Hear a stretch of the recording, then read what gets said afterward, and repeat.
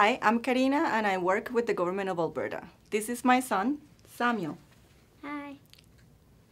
These tests are easy to use and can help you feel better about sending your child to school. So let's find out how to use one. Remember to wash your hands thoroughly with soap and water before you begin. Get your child to wash their hands too. Now let's get our materials ready. Your kit comes with a test cassette, a sterile swab that looks like a Q-tip, a tube and a stand for it, a nozzle with a filter, and a little plastic container with testing liquid inside. You will also need to set a timer on your phone or watch. Make sure everything is at room temperature before you use it. Take the test cassette out of the pouch and set it down. Place the tube into the tube stand. If you are testing more than one child, it is helpful to label the test.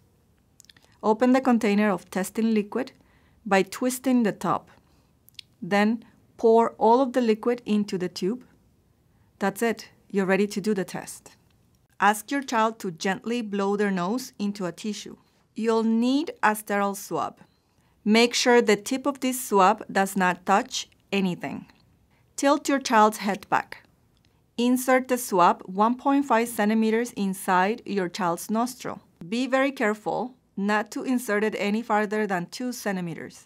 That's not very far. Move the swab in a circle inside the nostril for at least 5 seconds. Now press your child's nostril down against the swab. Spin the tip for 5 more seconds. Using the same swab, do the same thing on the other nostril. It's time for the last step, getting the results. Let's go back to the materials you set up on the table. Put the swab inside the tube. Tilt the tube so the swab is completely covered by the liquid in the tube. Mix it really well and squeeze the tube against the swab 10 to 15 times. Place the tube with the swab back on the tube stand. Set timer for 2 minutes. When 2 minutes are up, pinch the tube so you squeeze as much liquid as possible out of the swab. Throw the swab into the garbage. Place the nozzle on the tube. Make sure it is on properly.